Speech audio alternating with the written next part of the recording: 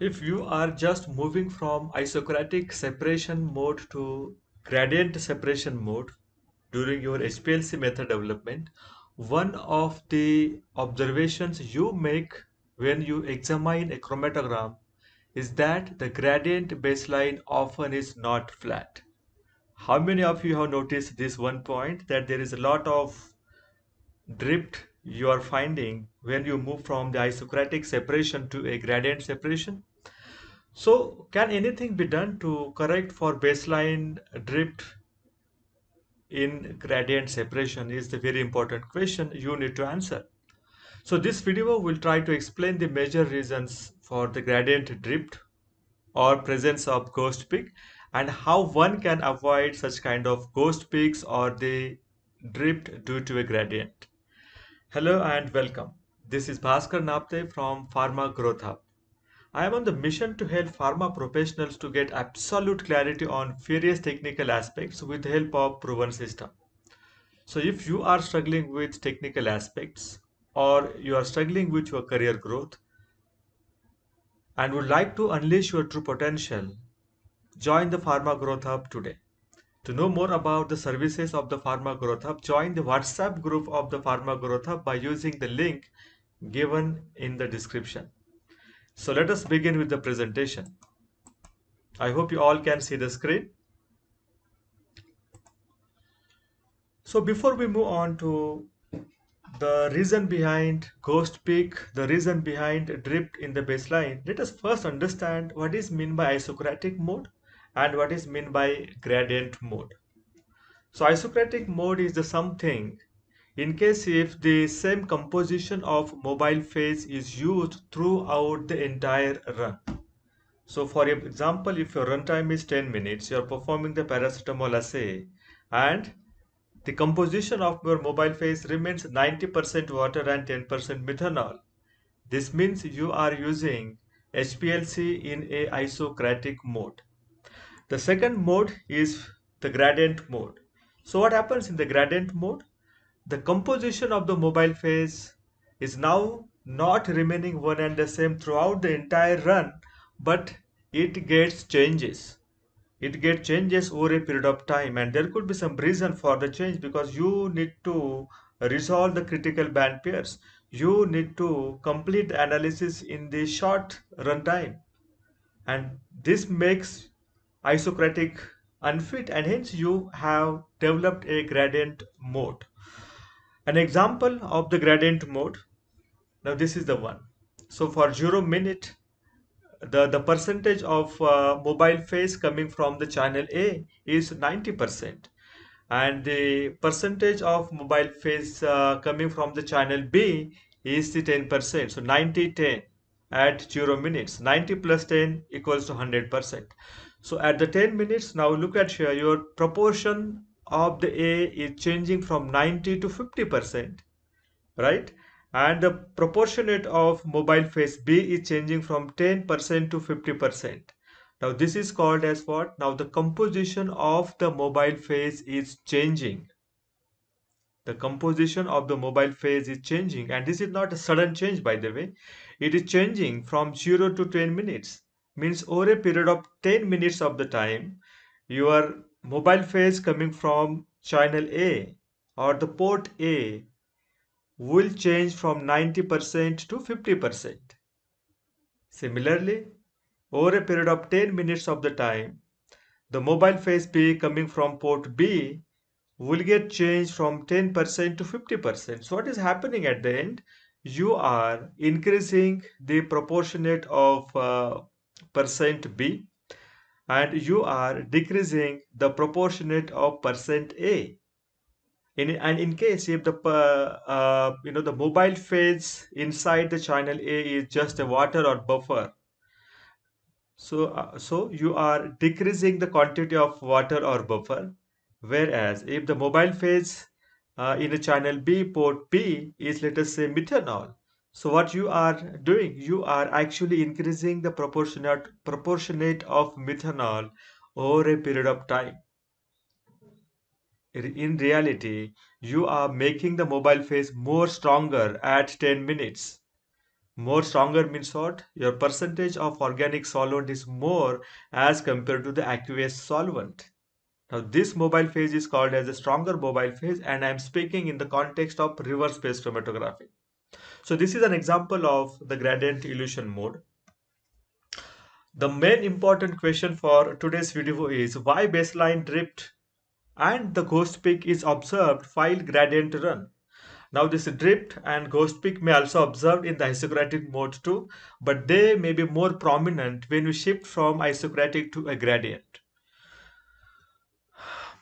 The first reason that I would like to explain as a part of this discussion is due to change in absorbance with gradient progression. Because of what? The change in absorbance due to a gradient progression. Let us say you have two mobile phases right? The mobile phase A coming from port A or channel A and mobile phase B coming from port A or channel uh, port B or channel B. In case if the absorbance value of mobile phase A is less than absorbance value of the mobile phase B, you just take the absorbance values of the mobile phase A and B and if you found that okay the absorbance value of mobile phase A is actually less than the absorbance value of mobile phase B. So what kind of chromatogram you can expect? And you can expect the chromatogram just looks like this. Okay? Now here you can see that the absorbance now this is the chromatogram uh, where the uh, time versus absorbance or the response uh, in case of your HPLC system. So as the time progresses, what we are seeing over here, the absorbance is getting increased. Why the absorbance is getting increased? Because the proportionate of mobile phase B is also getting increased. And as the mobile phase B has the high absorbance value, and if the composition of mobile phase be getting increased, what do you expect? You also expect that the absorbance value will also get increased with proportionate to the increment in the portion B inside the mobile phase. I hope you understand why the chromatograms will just look like this. In the second scenario, you can say, okay, if the absorbance of mobile phase A is greater than the absorbance of mobile phase B, so your mobile phase A has a greater absorbance value as compared to the mobile phase B. And what kind of uh, chromatogram or baseline you can expect? You can expect this kind of uh, the, the chromatogram here now. You can see that there is a decrease in the absorbance value. So in this case, the drift is towards the negative side. Once your system makes the auto zero, right? That's the way the HPLC works. They make the auto zero and then the proportionate of B is actually increasing. But what is the absorbance of the, the B?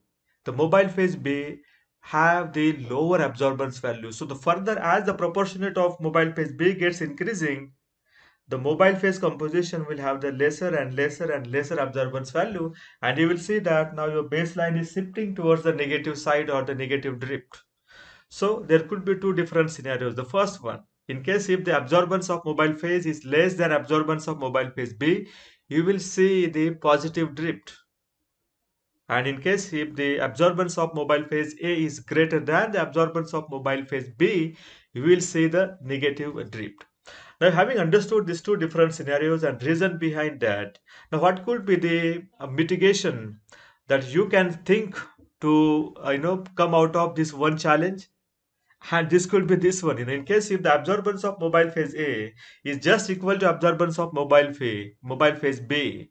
So whatever may be the composition of a and b throughout the entire chromatographic run will the absorbance value change? It will not because it is not about the presence of mobile phase a or b anymore. Whatever may be the part of your mobile phase composition you know that both the mobile phases coming with the same absorbance value and you can expect now the smooth baseline.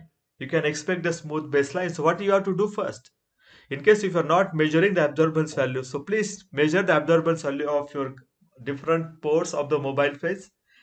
And then if you need to manage the absorbance values uh, then you can do that. You increase the absorbance value of the mobile phase which contain the lower absorbance value. And this can be done uh, very often by adding the buffer in mobile phase A. See, most of the times you will have this kind of scenarios where there is a positive drift. So in case of positive drift, you can in that what that indicates that indicates that the absorbance value of mobile phase is low. So increase the absorbance value of mobile phase A and match it equal to the mobile phase B just by adding the buffer solution. Now in case if there is a second scenario where mobile phase A has the greater absorbance value, as compared to mobile phase B, you can think of adding the another organic solvent which has the higher amount of absorbance value. So that way you can match the absorbance value of mobile phase A and mobile phase B. Having said that, you should not cross the absorbance value of either which crossing the, the UV cutoff should not be greater than 0.5 absorbance unit altogether. Or if not 0.5, don't go beyond point uh, don't go beyond one absorbance unit. The second reason could be if the mobile phase has high absorbance at the working wavelength. Right? Now I have another suggestion for the uh, for you to consider. I just forgot to mention about that. And here it is now in case if the mobile phase A has the greater absorbance value than mobile phase B, is it because of the salt that you are using? Because carbonate salt, acetate salt, they result into high absorbance values. Either you can replace those carbonate or acetate salt by the phosphate salt, which has the very low UV cutoff absorbance value. Or you can just use water as a mobile phase A in case if there is no need to control the pH. But in case if you need to have the acetate buffer for some reason, right? You need to have a acetate buffer in mobile phase A. What you can do is you can also add some amount of acetate buffer into mobile phase B. Now mobile phase B containing ACN which has the lower absorbance value, I am talking about the scenario number 2. So in case if you add now the acetate buffer in the mobile phase B with certain amount of water if required to get your acetate salt well solubilized, what you can expect. You can expect now because of addition of salt or buffer the absorbance value of mobile phase b will also get increased. So this way you can make the absorbance value of mobile phase a and mobile phase b now close to each other. And hence you can expect now the smoother baseline. So let us go back to the the, uh, the second reason why you could why you could see a drift in a mobile phase during a gradient run so if the mobile phase has a high absorbance at the working wavelength, it is also noted that in case if your salt, if your organic modifier has the higher UV cutoff, you can also end up getting the lot of uh, baseline drift. So this is the example where your measurement wavelength is 210 nanometer right? And you can see that you know there is the wavelength versus absorbance uh, figure and you will see okay there is a lot of absorbance coming at 210 nanometer.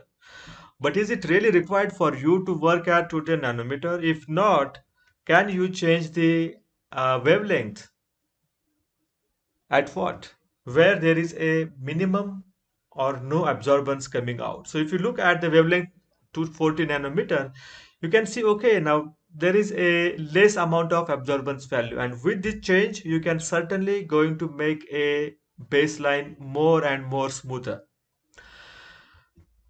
The third reason that you are getting a drift in the baseline if the solvent have impurities in them. Now this is not about the uh, the drift i'm so sorry but this point can brings you a lot of ghost peak unwanted peaks during your chromatographic run. And this is because of what? The solvent and especially the water containing lot of impurities so look at the TOC level of the water. Look at the conductivity level of the water. I think you should have a water uh, with the less than what, 10 to uh, 20 ppb total organic carbon in case if you are using the water for UPLC analysis. And the conductivity can be think less than 1.3 microsiemens so in case if you do not have this quality of your water, maybe this is the time you need to look for the better source for the water. And same is the case applicable for the organic solvent too. So they must be the, the, the ultra pure or the good quality uh, organic solvent and same is the case applicable for the salt or the buffer salt you are using. So this is the the chromatogram where you can see a lot many ghost peaks. So how you can mitigate, minimize those ghost peak? I have seen people using the ghost buster column. So they call this column as a ghost buster. Now this column busts all the ghost peaks because of the impurities observed in the mobile phase. This column absorbs the or adsorbs these impurities, metal ions coming from the mobile phase and because of that you can see a much smoother baseline. You can see the another baseline now where the Ghostbuster column is used, right? This one. So I have found that the Ghostbuster column really works like a magic. So you can try out this, but make sure that this column is not recommended in case if your mobile phase consists of ammonia related or compounds.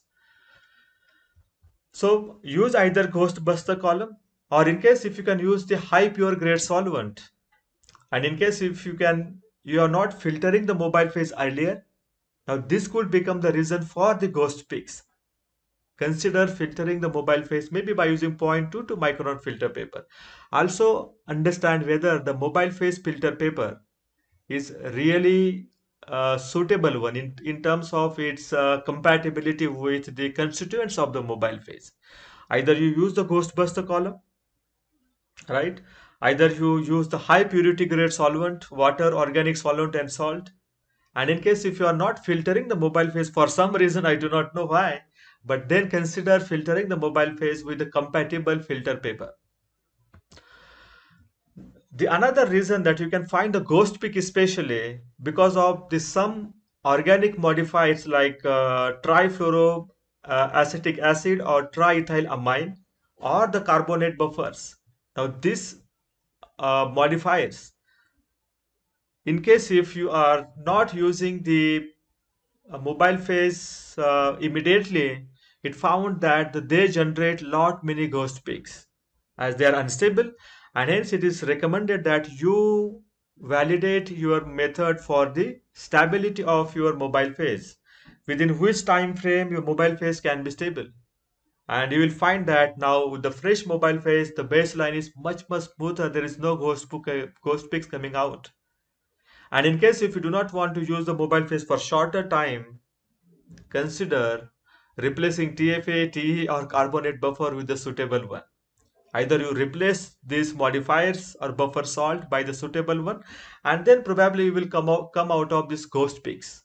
But in case if the TFA is the requirement, then consider conducting a the usage period for your mobile phase. I hope you will find this information really helpful because this is something which is very very challenging most of the times. Thank you so much.